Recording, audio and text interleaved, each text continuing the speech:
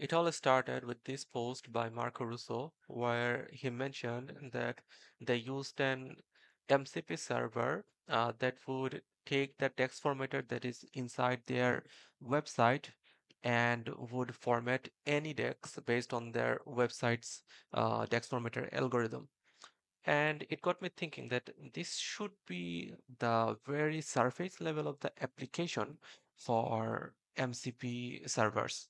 So basically, MCPs are model context protocols, and you can think of them as an USB-C uh, for your different tools, uh, for your different works, for your different algorithms, um, and many more. If you are interested, I can break down the concept like even more, uh, as I have as now I have some working experience. So it got me thinking, and I had a plan to actually read uh, a specific server and a specific database like SQL uh, database. And I should be able to like converse uh, with the database okay and get all my uh, queries answered. And I want like uh, my SQL query and I also want uh, my uh, SQL query answers with explanation and not only that, I went even like one step further and I also like made it to execute queries from the like uh, from the uh, client itself. Okay. So for the MCP, I have to, you know, run the MCP using a uh, like using a cli client. So we can use Cursor for this, we can use Windsurf for this, uh, we can use VS Code for this. But in our demonstration, we are using the Claude desktop for this.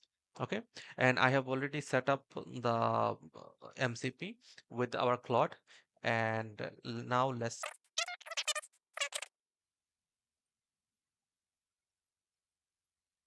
okay.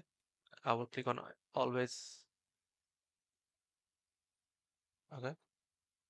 Now it's asking me to provide it the database server information and also the database name.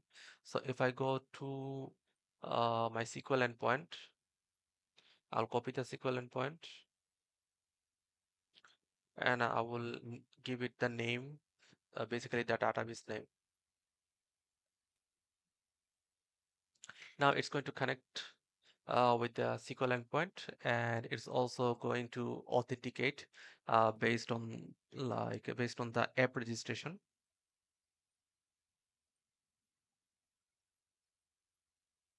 All right. So the connection has been done and now it's going to automatically discover all the available tables, all the available columns um, in our database that is curated EDW.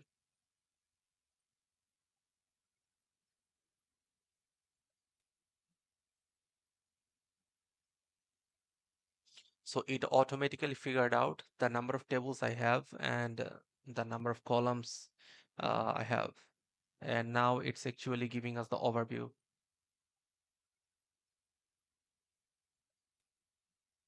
Okay. So, so far, I think it's uh, like good enough to impress anyone. But okay, let's go even further. Um, let's ask him questions like, uh, how many rows are there in the customers table?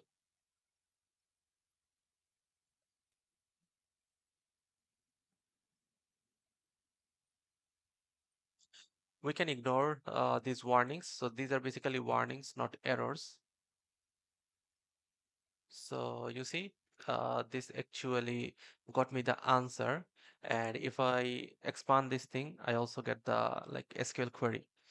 Okay, uh, let's make it even a little bit more complicated. I want to see uh, sales amount,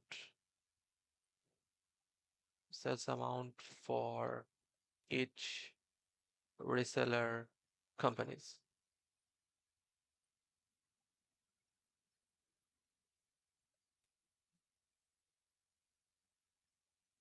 As you as you can see uh, it knows the about our uh, it knows about our um, schema, uh, the table and columns, and it automatically figuring out the proper uh, queries and like the proper informations.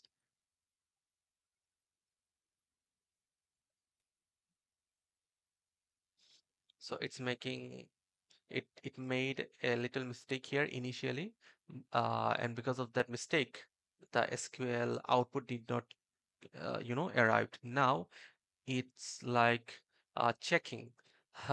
Now it's like checking uh, for the reseller table and its uh, different columns information, and it find out that the company information is you know with the reseller name. And after that, once it figured out, uh, now it's actually creating the uh, you know uh, workable uh, SQL query, and it got us our expected result. Okay.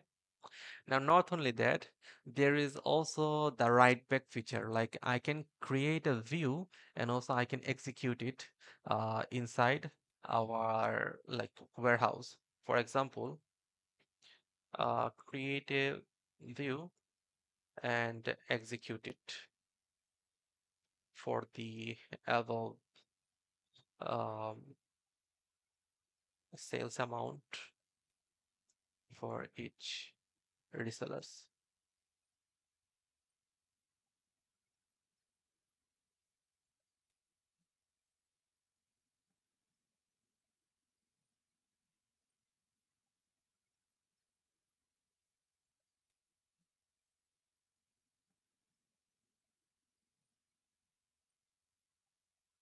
Okay. Now, if I go to our,